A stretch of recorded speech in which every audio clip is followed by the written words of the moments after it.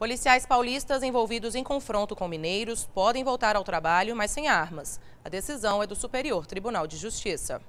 Os ministros da quinta turma do STJ concederam habeas corpus para substituir a prisão preventiva de quatro policiais civis de São Paulo por outras medidas cautelares. Eles foram denunciados por tentativa de lavagem de dinheiro e porte ilegal de arma de fogo. De acordo com o processo, em outubro do ano passado, os policiais foram contratados para participarem de escolta privada de empresários de São Paulo que seguiam em direção a Juiz de Fora, em Minas Gerais. Na ocasião, houve troca de tiros entre policiais paulistas e mineiros que também faziam segurança privada. Duas pessoas morreram no confronto. Além da prisão em flagrante dos policiais paulistas, foram apreendidos 14 milhões de reais entre notas falsas e verdadeiras. As prisões foram convertidas em preventivas.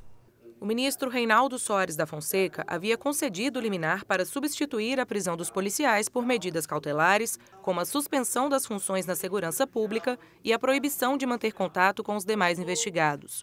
Mas, no mês passado, o ministro revogou a medida cautelar de afastamento das funções.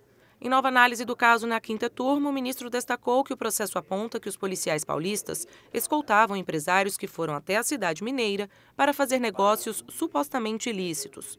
No entanto, o ministro ressaltou que, enquanto um dos empresários teve decretada apenas a proibição de sair do país, os policiais estavam presos desde a época dos fatos.